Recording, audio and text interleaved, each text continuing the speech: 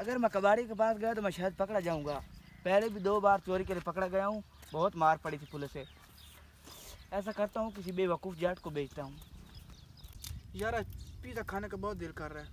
मेरे पास तो पैसे भी नहीं है। तुम्हारे पास कितने हैं? अच्छा ये बता मेरे पास पैसे होते मैं तुम्हारे साथ बैठा। अच्छा चल कहीं से कोई जुगाड़ लगाते हैं।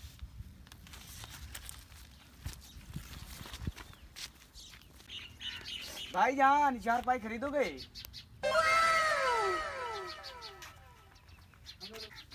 यार बात सुन। बकर खुद हलाल होने आके। अच्छा सब पहले मुझे बता ये घर किसका है? ये घर तो खाली है।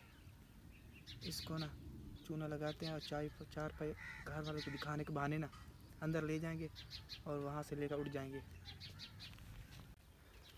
लेनी है या नहीं जल्दी बताओ। लेने तो है लेकिन एक बात बताए ये लाहौर के पास अख्तर लावा किधर गया है?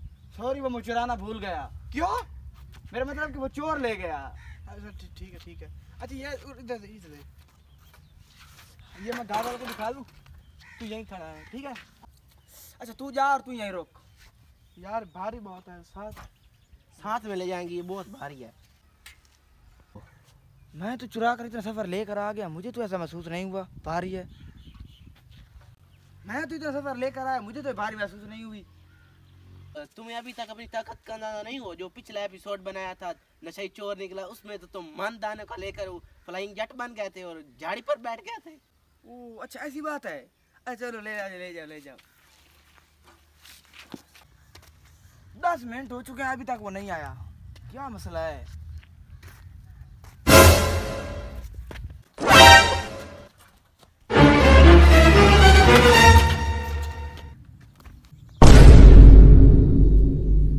सारी ज़िंदगी यही काम किया और तुम मुझे चूना लगाओगे?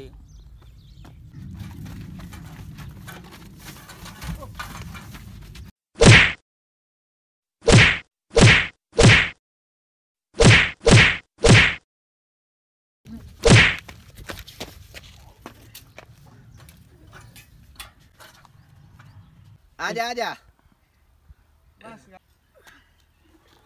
चला जा चला जा। मुझे तुझे गद्दार दोस्त नहीं चाहिए। मैं अकेला पीने के लिए छोड़कर आ गया था। यार मेरे जेब में पैसे थे वो बताना भूल गया था। आजा पिज्जा खाने चलते हैं। बाकी यार कुछ नहीं तो दोस्त से गलती होती रहती चल चल चलते हैं।